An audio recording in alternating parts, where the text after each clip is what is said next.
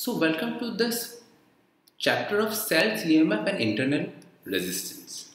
Now, if you try to understand what is a cell, you can say a device, a device which has a which has a stored potential, stored potential, and it gives a steady current. Steady current. So this is what you can understand as cell. Now, in cell you will often see like in a battery there is this positive and there is this negative. So we see that if you connect this positive to a electronic circuit and then we connect it to our negative we that because there is a potential difference so now as soon as we have completed the series this electrons that are present over here or this charge that is present over here now basically electrons will be present over here. Now say suppose this is charge positive charge but if you want the correct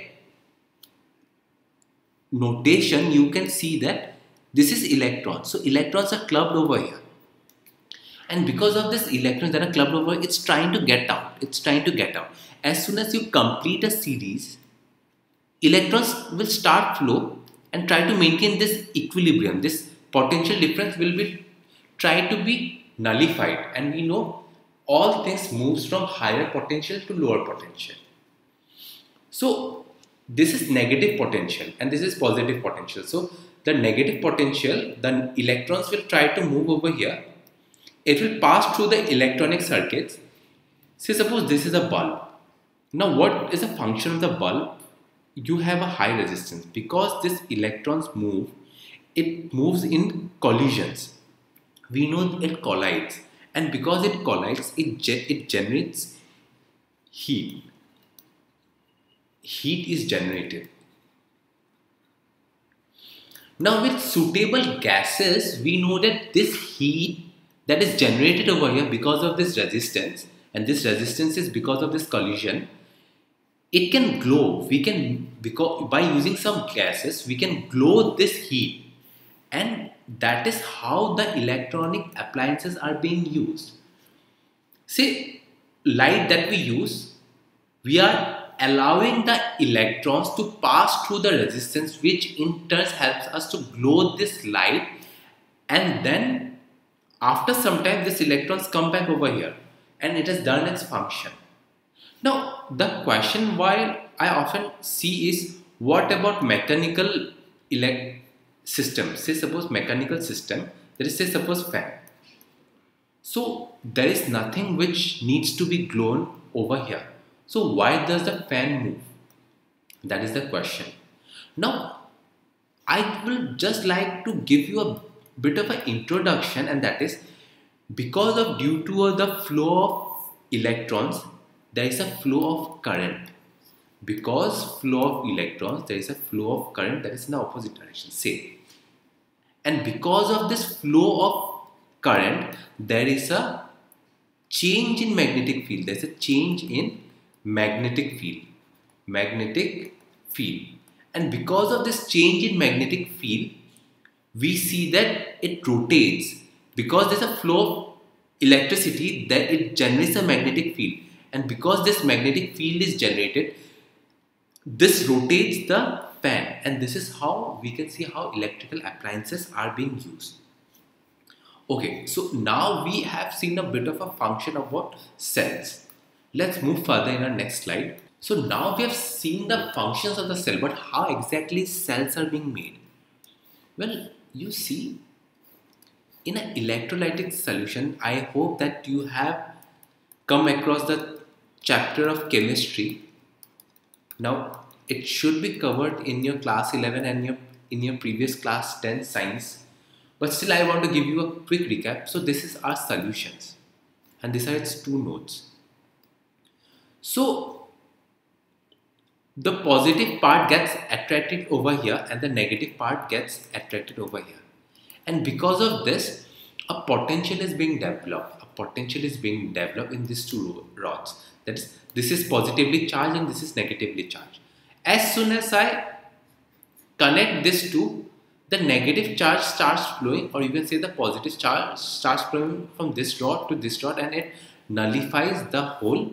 After some time, it nullifies the whole system. That is, no charges will flow. So, what you have to notice is that there is a potential initially that is V plus and there is a negative potential initially that is V minus and the total potential difference say I have drawn this particular cell if you remember this is negative this this is nothing but the two rods these two rods are attached over here and this is the whole solution say so the total electromotive force EMF this is known as electro motive force. The total electromotive force EMF is actually equal to the potential at V plus plus the potential at V minus and this should always be greater than 0 only then charges will start to flow.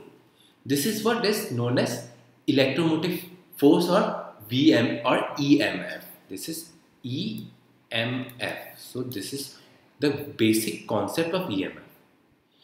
Now, because of this, say suppose, because of this, say suppose now this is my positive and this is my negative.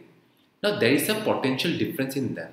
There's a potential difference. There's a difference. So if I try to pass positive charge from here to bring this over here, say this is a situation where I try to push up another positive charge from here to here. Now I will see that no charge is flowing. Why? Because this is positive and this is also positive. So this particular cell has a potential of its own and because of this potential it is obstructing the flow of like charges towards itself. So in a way it is acting as a resistance. In a way we know that see this is positive and all the positive charges are trying to come out over here and we are trying to push another positive charge. So positive positive will obviously repel. So in a way this particular cell is giving a resistance. Now this what is the value of this resistance? The value of this resistance is its potential difference.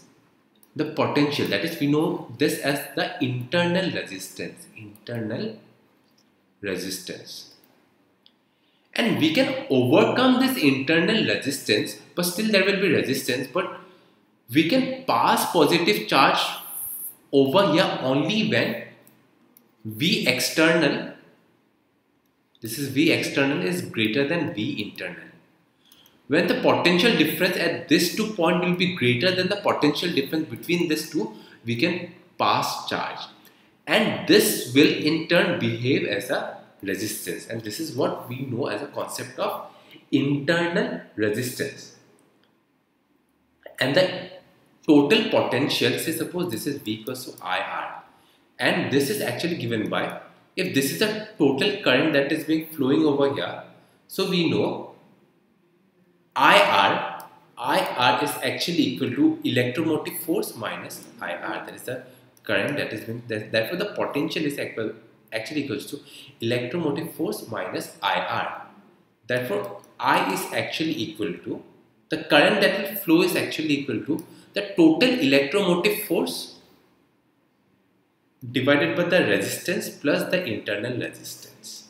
So if this is a total electromotive force, if a EMF battery has been connected, so what is the total current that is flowing is actually equal to the resistance of this wire plus the internal resistance. So this is what you can understand.